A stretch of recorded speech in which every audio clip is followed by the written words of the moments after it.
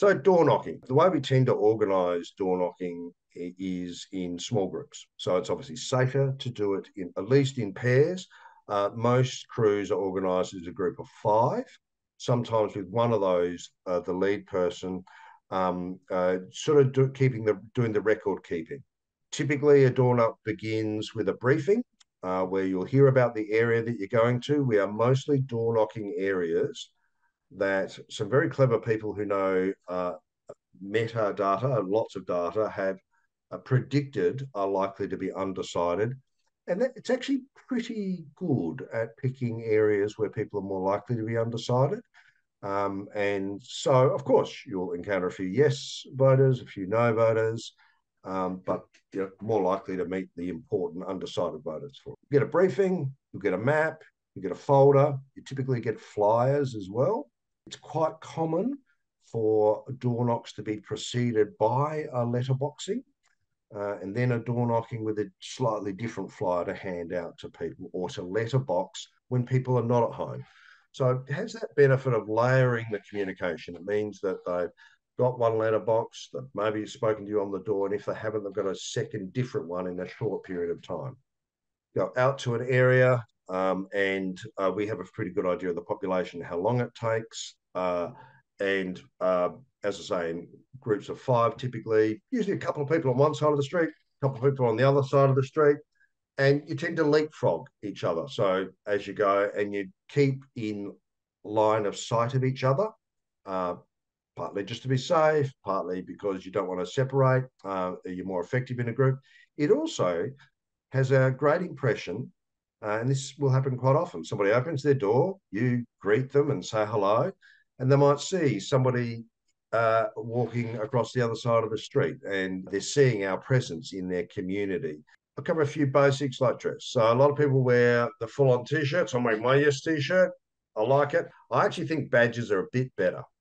Okay, you wear what you're comfortable, but discreet badge says that's where you are. You're, you're yes, so they can see there's a little bit of officialdom in that. But you would normally be door knocking on a weekend where you just wear your usual neat, casual clothing. Nothing too fancy pants, uh, uh, but uh, you know, relatable. Most important thing about door knocking is be yourself, relax, smile, uh, and be kind of friendly. Because no matter who we encounter, whether they're yes, whether they're no, whether they're undecided or you don't know, uh, we want them to feel not threatened by somebody being at their door, not you know imposed upon too much. Uh, we want them to be comfortable to both have a conversation if they have the time and interest to do so, and to not have one if they want. So really, just chill a bit, be yourself, be friendly. How many people here have ever done door knocking like this before? Not one, two, three, four. Put your hand up if you've never done this sort of thing before. Hmm. And as you might expect, the vast majority here. Well, those that have done door knocking, you can contradict me if you wish, but overwhelmingly, when you're knocking on somebody's their own home door, they just tend to be friendly. You know, like you're in face to face. It is their home. But most new door knockers are fearful that they're going to get the angry no person or somebody that's got a chainsaw in the basement. You know, it's all going to be a bit more confronting and scary than really it is. Now, I'm not going to pretend that once in a blue moon, uh, you do get somebody that's got some anger management issues. That can happen, but it is actually very rare and I'll encourage you to think of this. If they're angry at somebody they don't know knocking on their door, they got issues in life. And it's nothing to do with you personally. It's probably got nothing to do with the Yes campaign. It's just that unfortunately, you know, you caught them in a bad moment or they're just not having a very good life. We need to keep ourselves safe. Um, we want to respect that we're on their property or home. And if they don't wish to converse, that's okay. In some ways, and I'll now talk about no voters. When we pose the question to them, do you realize there's a referendum coming up? And some people will say yes. And often at that point, they'll just tell you how they're voting because they've been telling the other people.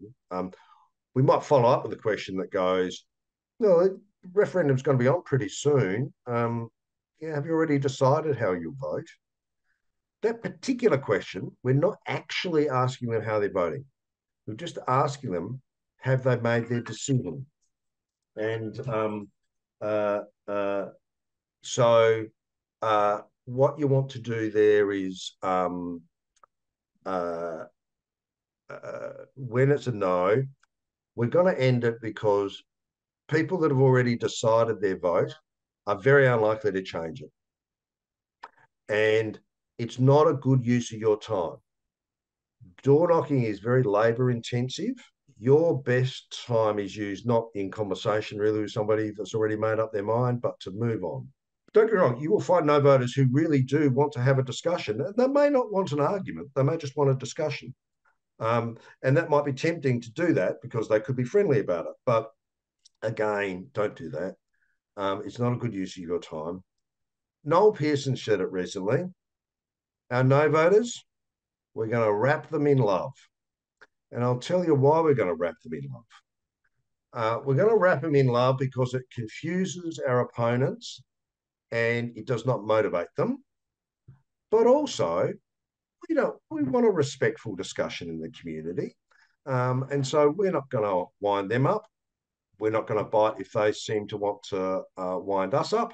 Wish them a good day. Uh, hope they enjoy their weekend. Sorry to have taken up your time. With yes voters, well, in organising, when we get one yes, what do we try and get next? We want to get more yeses. Yeah, we do want to get more yeses. And what might be another yes, Rachel, that we would look for from a yes voter? Uh, asking them to talk to their friends or family. Fantastic. Love it. Yeah, absolutely. Give them something to do. We also want to reinforce a yes vote. You know, that's great. Um, you know, uh, your vote will really matter in Western Australia. Make them feel important. They are important. This is their time to shine in our democracy. Um, also, we want to educate yes voters. Uh, so we need we want them to know that they'll be voting at the usual kind of polling places and in usual ways, including voting early or by postal vote. Um, it's not like a party political election where you have to write numbers. Uh, you will have to write the word yes. So we not only want a yes voter to say they're voting yes, we want them to know how and when to vote as well, as well as, you know, yeah, talk to other people or they may be interested in being on our email list to sort of hear about opportunities that we provide. So, no voters, short, polite. Yes voters, reinforce it, educate them a bit about how to vote, and uh, organise them a bit. Yeah, talk to family and friends. Keep up. Good on you.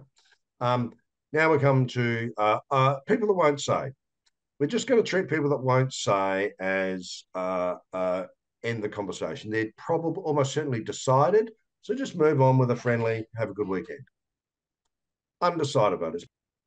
Uh, I'm looking for somebody to unmute themselves. I just find BFART 100 too fascinating, BFART 100.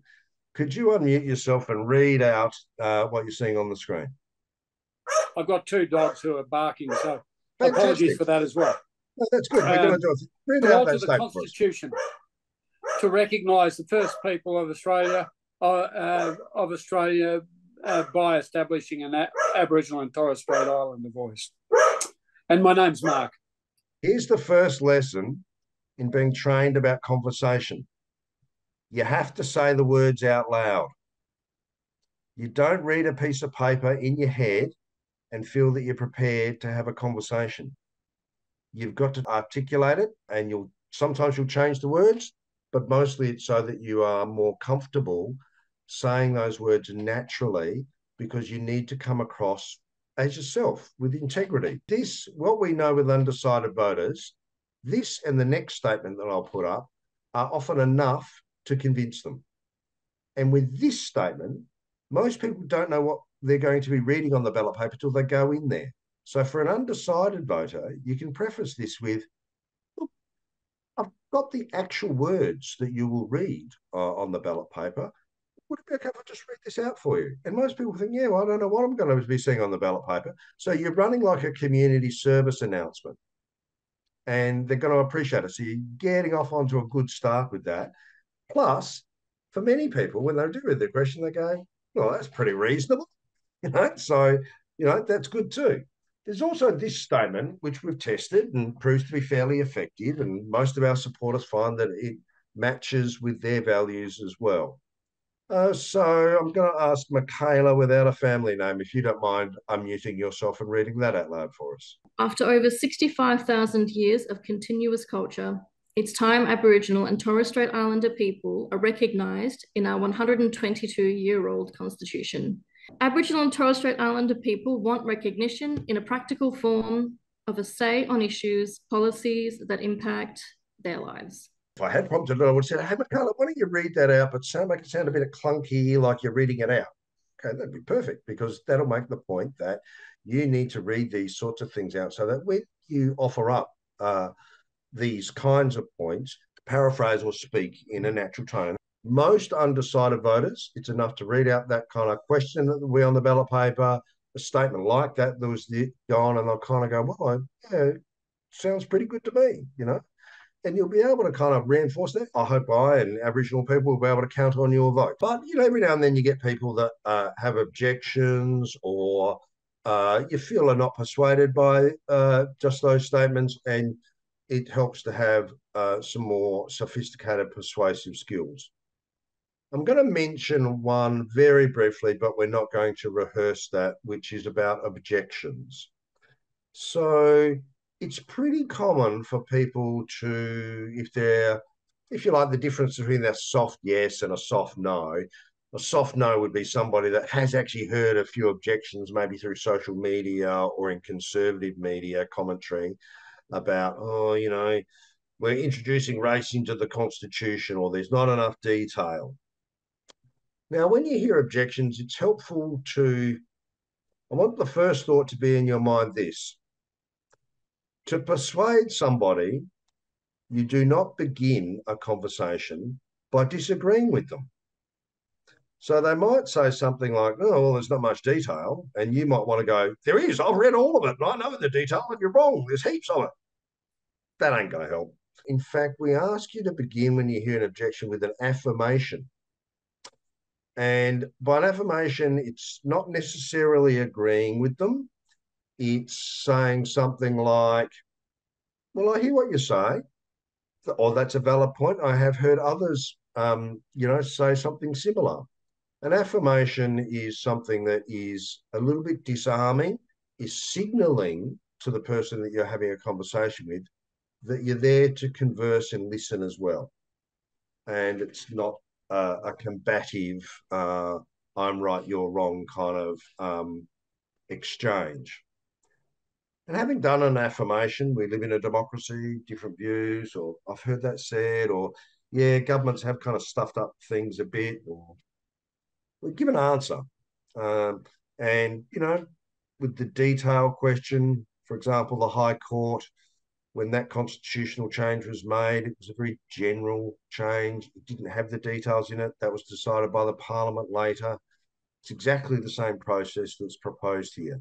Uh, the Parliament, elected by everybody uh, uh, or citizen in Australia, uh, will decide the shape of the voice. Constitution provides an assurance that there will be such a, a body, but uh, the detail is decided through that democratic process. And finally, we try and redirect so that we're not reinforcing what is probably a negative way of thinking about this issue in the minds of the people we're conversing with. Uh, and I will, in this regard, um, point out that very common negative views about Aboriginal people tends to be highlighting disadvantage, the poverty, poverty of some, criminality is a widely held uh, stereotype about Aboriginal people as well. Often, even supporters of voice will say, I want to do something about that disadvantage. But by talking about that disadvantage, it actually kind of reinforces it. And it's helpful, more helpful, to think of some of the positive stereotypes that there are about Aboriginal people. For example, strong commitment to family relationships, respect for elders, that ancient culture. These are positive framings that are important. I'm putting up here the four V's as a method of talking about your own, developing your own statement for why, if you like, answering the question of why it is you're knocking on the door for this campaign. And a, a lot of members of the public will have that question in their mind. Why would you do this?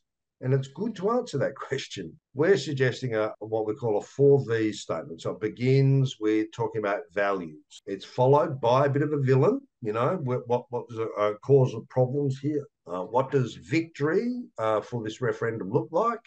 For me, for us as a community, as well as, of course, for Aboriginal people? And what sort of vision is this helping to advance for the community that we live in? So these four V's, really only called the four V's because you're more likely to remember them values, villain, victory, vision.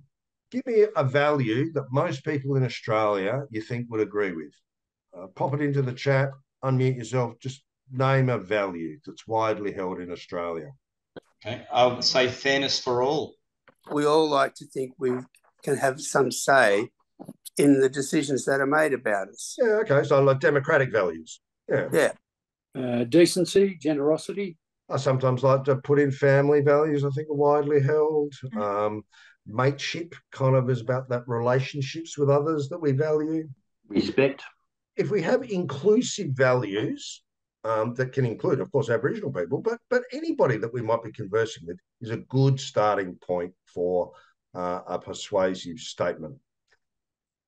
In this statement with villains, I kind of just go with we've got to, if we're a bit honest with ourselves, we've had a bit of a racist history. You don't want to slander an individual or name anybody, but it's also a little bit safe saying it in the past, but it can be, I think, a failure of governments is uh, a, a reasonable villain for some of the issues that community as a whole, as well as Aboriginal people face?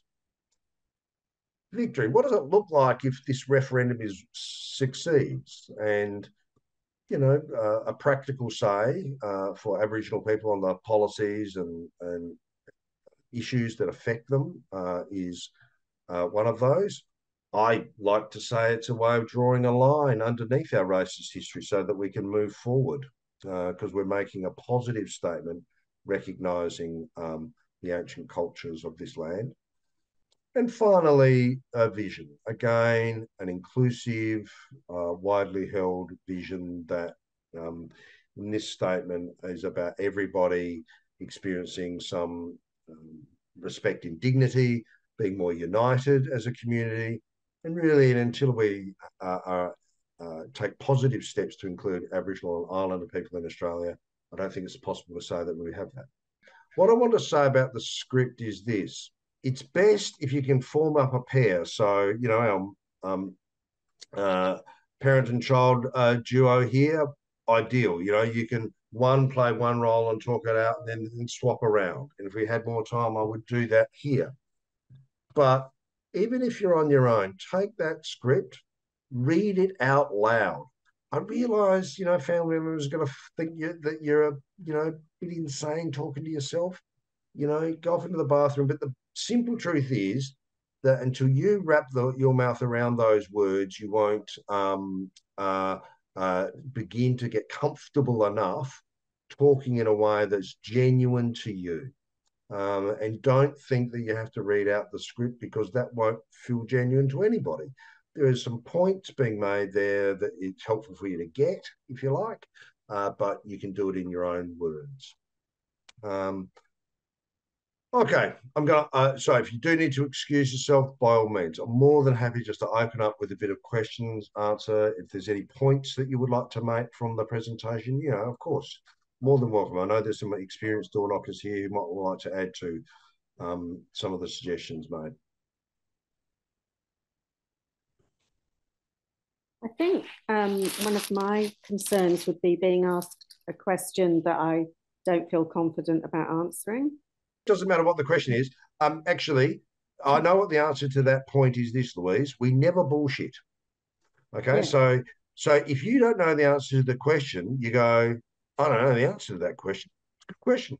Um, uh, uh, or you know you can refer them to, and you'll see in the speaking notes the yes23.com.au page, where there's an enormous number of resources in there that would answer most people's questions.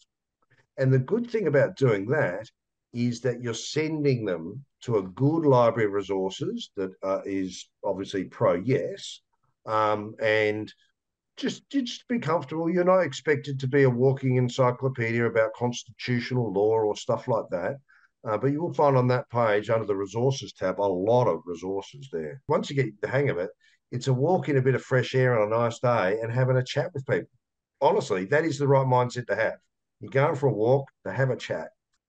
I can assure you that when you go door knocking, and I encourage you to sign up to do a door knock soon, like this weekend, there's several important ones going on in mm. some of the outer suburbs, that you will see, hear, and know that you've been persuasive for undecided voters. Uh, and that's just doubled your number. And then when you add another one, it's tripled. And um, it's a very empowering uh, thing.